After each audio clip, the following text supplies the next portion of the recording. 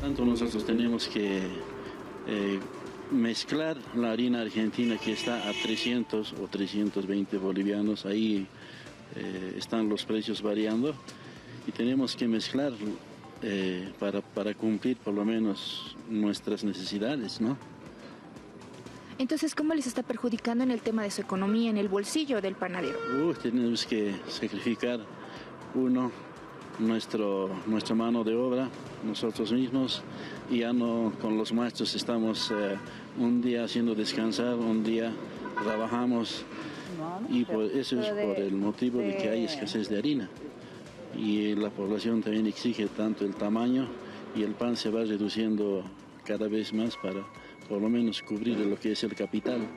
Claro que sí, y en cuestión de los precios, más o menos, ¿cuánto sería el incremento que ustedes estarían pidiendo en caso de que haya incremento en el precio del pan? Con el mercado, lo que está la harina a 300 a 320 bolivianos, varía. El pan, pan de batalla costando unos 80 centavos. Y en cuestión de los otros panes que también ofrecen, tenemos colizas, cauquitas y demás, también yo creo que el incremento es elevadito. Ese es donde a nosotros nos sostiene, ¿no? El pan surtido. Lo que es pan de batalla es solamente para, para eh, recuperar el capital. Y lo que nos surte es el pan surtido, es lo que nos, nos palea por ese lado.